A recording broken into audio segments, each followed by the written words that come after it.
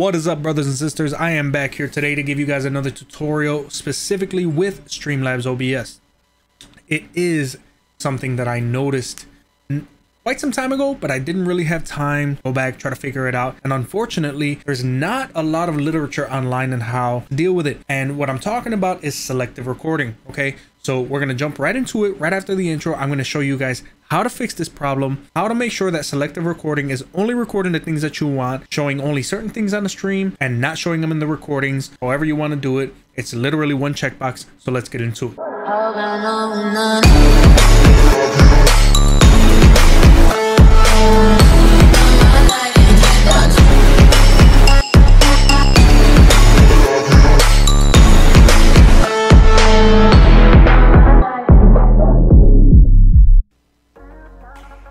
Okay guys, so now for the sake of showing you guys specifically what I'm talking about, I'm gonna go ahead. I have started a random dummy stream, okay? It's on private, nobody can see it. This is only for the purposes of this video. Now what I want you guys to see is that right here under the output options, the replay buffer is on. Now I want you to notice that the use stream output box is checked, okay?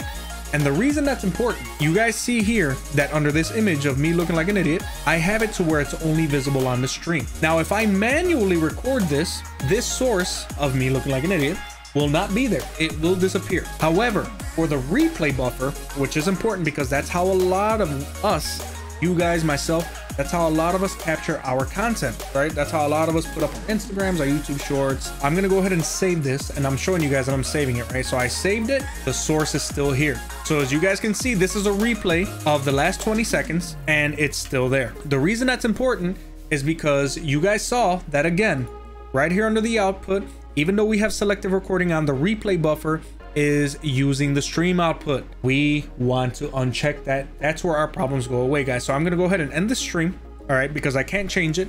I want to show you guys step by step how to do this. Go to the replay buffer, uncheck that. That way your replay buffer is using exactly what the settings are in your recording tab and the encoding and not exactly what the streaming does. Because here's the thing, when you tie the replay buffer into the streaming encoder, what ends up happening essentially is that even though you've told Streamlabs, I don't want this source to be recorded, I don't I only want it for the stream, it's using the same encoder, right? And apparently it cannot differentiate what sources should and should not be streamed and which should and should not be recorded. So now we're gonna go live again. We'll call this tutorial two. We'll keep it private. I will confirm and go live. The only thing that has changed, guys, is we have unchecked that box under the replay buffer. Now, for whatever reason, Streamlabs OBS, they've not made a distinction yet. Even though selective recording is on, the replay buffer, it says use stream output. If it's using a stream output, it's gonna capture all the sources that you're seeing on the stream. That's just how it is. I don't know why, but that's how they have it. So we're going to go ahead and we're going to save this replay, okay? And when we save the replay, now when I double click it, guess what? The picture of me looking like a fool is gone. And that's all there is to it, guys. That's literally all you have to do. So as you can see, there's that one. And then the one before that, which was three minutes before, there it is. So if you actually look at it, this is the video that was recorded at 1719 hours. And this is the video that was recorded at 1722 hours after we started the second dummy stream. This is the video that was recorded when we were still using the stream output.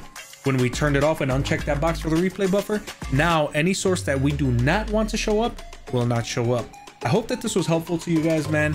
It really took me a little bit to actually figure this out, even though you would think it would be a little bit more intuitive, but it didn't dawn on me that I should turn that off. So if you are having an issue with selective recording, go ahead, make sure, once again, that that box is not checked off this box will make sure that all of your sources are recorded regardless of whether or not you have selective recording toggled on. It will not listen to the recording tab. It will do whatever it wants according to the streaming tab. That's obviously not what we want. Guys, thank you so much for being here. Be safe, be good, be blessed, and I'm gonna see you when I see you. Peace!